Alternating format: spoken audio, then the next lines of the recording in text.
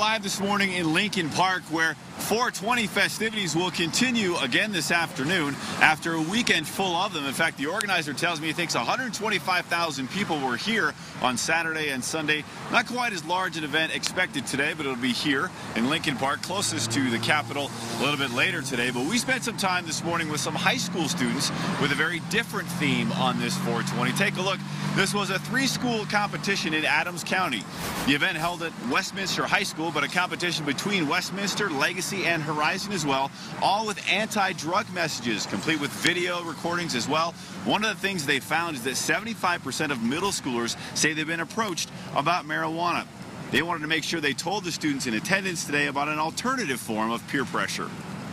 Choose not to go down that path. You're still going to have people supporting you and have people there for you. And also make sure that you're aware of what you're doing because weed and every other drug or alcohol, everything, they all have far more effects than you realize.